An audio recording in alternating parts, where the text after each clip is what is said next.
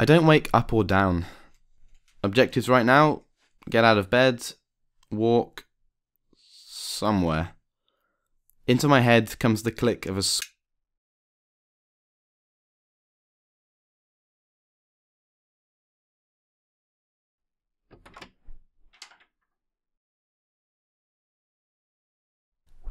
Get ready. Wash. Dry. Clean. Mornings are strange. It's the definition of a new dawn. Endless possibility for the day that lies ahead. But instead, I find my mind shifting in and out of consciousness, my body drifting in and out of balance. What if we miss more than we see every day?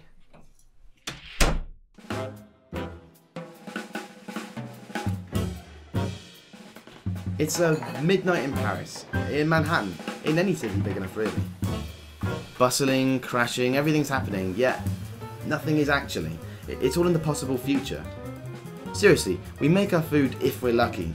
We eat it quickly, we get the hell out, and try to enjoy ourselves in the same handful of ways. It's a, it's a tragedy, really. I like to ask myself where this all began. Did primitive, irrational man walk outside to see what was going on in the local cave? No, he had a sense of independence. He didn't try to live within his little ring fenced area because there was no ring fence. Even when we were ruled by kings, we still didn't really have the same social norms that we're so restricted by today. As the world gets smaller and the people get closer and closer together, it's inevitable that we feel more watched. We are. So naturally, we're more inclined to stick to the same boring life lived a thousand, a million times beforehand. Are we afraid of trying new things? Are we so afraid of new people that we blend in like Leonard Zelig?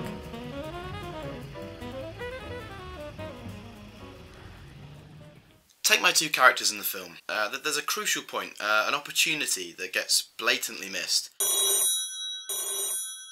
Uh, now, I, I grant that it's made very obvious in the scene, but the good part about it is, is it's like watching, it's like a warning. To those two characters, it, it's not obvious, even though they're literally staring each other in the face.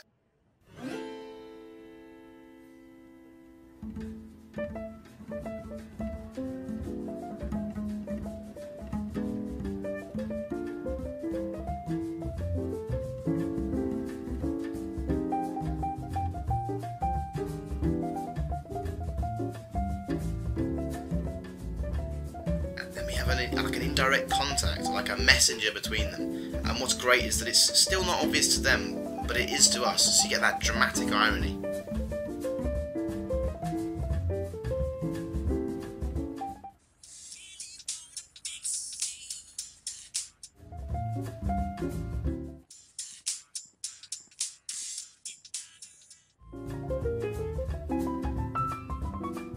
Yeah, Leonard Zelig, I- grant it was a little obscure. Amazing film.